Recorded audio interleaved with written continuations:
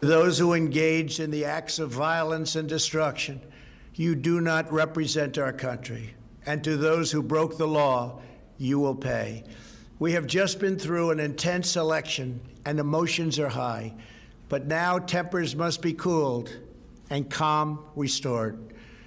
El vídeo ha sido colgado en tweet después de recuperar su cuenta bloqueada durante 12 horas. Facebook e Instagram siguen cerradas.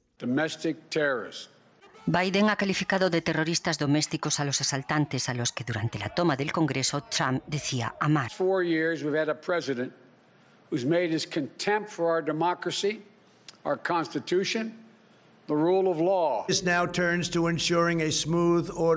Mi foco es ahora asegurar una transición de poder ordenada y sin problemas, decía Trump.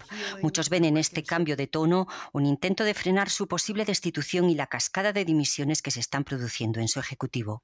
La de la secretaria de Estado Betsy DeVos y la de la secretaria de Transportes Elaine Chao renuncian asesores cercanos y miembros del Consejo de Seguridad Nacional.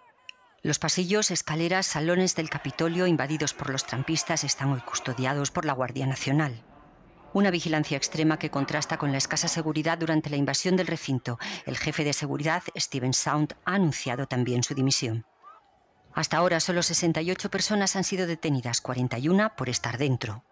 Todo el complejo del Capitolio, incluyendo las escaleras donde Biden tomará posesión el día 20, será blindado con una barrera de dos metros. 6.000 reservistas han sido activados para unirse a las fuerzas de seguridad. Quedan aún 12 días y las voces pidiendo la destitución de Trump son cada vez más altas.